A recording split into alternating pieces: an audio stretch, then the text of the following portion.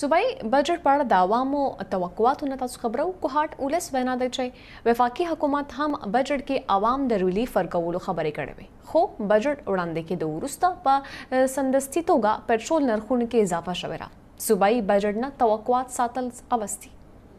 نن د صوبایي بجټ حوالې سره ډېر توقعات دي سر نن به صوبایي بجټ کېږي نو هغه حوالې سره مو دا زیل غواړم چې د دې پر خاص کر غریب دې پر لږ خیال وساتل شي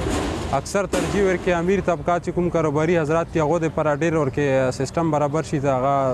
وچلېږي ورکې او غریب دې پر څه خاص خیال نه وي نو دا ریکویسټ کوم ته چې غریب عوام خیال د ورسره وساتي دې ځل کوم بجټ صوبایي بجټ واورو لګیا هغه کې دا خبره زیات متخیل لګیا چې یاره دې ځل به ډېر ریلیف وي ډېر مراعات به وي دا مراعات خو همیشه ملویږي دې ځل زیات به وي لیکن پته ولاګي چې یاره همیشه چې کوم شوي دي هغه پوره شوي دي مو همیشه دونه دا غواړو چې یاره انډسټري فروغ دې پاره چې تا نئے روزګار مواقع دې پاره چې تا زراعت مختلف شعبې معدنیات دو ترقی د پاره سکار وکي فند ور کوي دو همیشه دا اګنور کی او نور د قرضې او د شونو په لراشي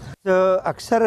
د ټوکم مزدورکار خلک دي او دیاړیدار خلک دي او سرکاري ملازمان دي غو بجټ باندې نظر وي خو چونکه بجټ کې یعنی وینا د ډیر او شي لوی لوی دوي د وشي خو چونکه هغه عملی جمع پینا نه چې کومه وی غبند هیڅ عمل درآمد ونشي نو دی بجټ نه څورا کاروباری طبقه دی او څورا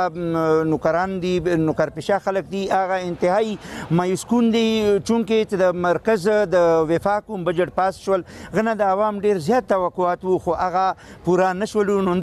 د چارسدي ولس